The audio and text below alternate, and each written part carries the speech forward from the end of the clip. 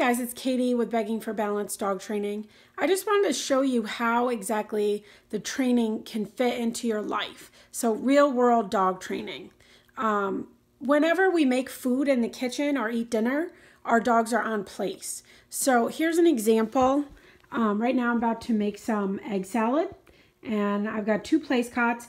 Now obviously because we're training this dog, um, the cots are in the middle of the floor, but they could easily be to the side, you know, in the corner of the living room, um, in the side of the kitchen, or we could even put our dog on place on a little rug like this in the kitchen, in the bathroom, in our bedroom, um, wherever we are in the house. So the dogs are taught place command. They hold place, and this is sort of like a mental yoga for them. You can see how relaxed my dog is. She knows place. Uh, she knows that she can lay there for up to a couple hours and um, we'll just kind of chill out and relax. She knows it's a comfortable place for her. Um, so I'm making just making some egg salad. The dogs know I have food. They're not terrorizing me. They're not um, pestering me or up on the counters or licking the dishwasher. This is just a simple thing you can do with your dog. Uh, it, you can just do it a few minutes a day if that's all you have. You know, um, people that are busy, they work all day. Maybe their dog is crated all day. Um, and then they get home, and maybe a good thing to do is like take your dog for a walk right away. You get home, you know, get comfortable first, take a few minutes, then um, take your dog for a walk.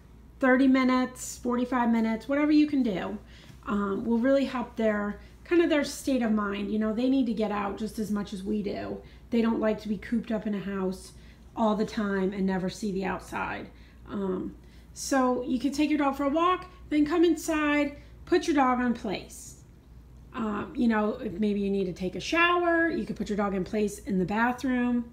If you just want to relax in your bedroom, you can put them on place in there.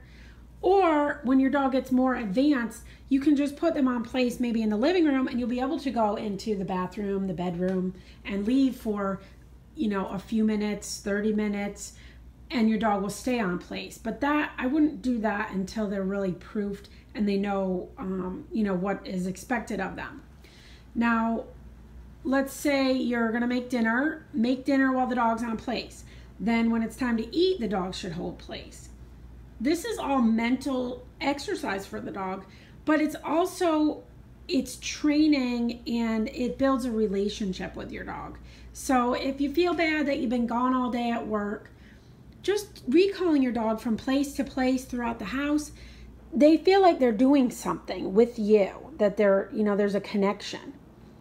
Then maybe um you know, get some outdoor time. If the dog's e-collar trained, maybe you could take it out back after dinner and throw the ball for a while or go to the park and do some off-leash time.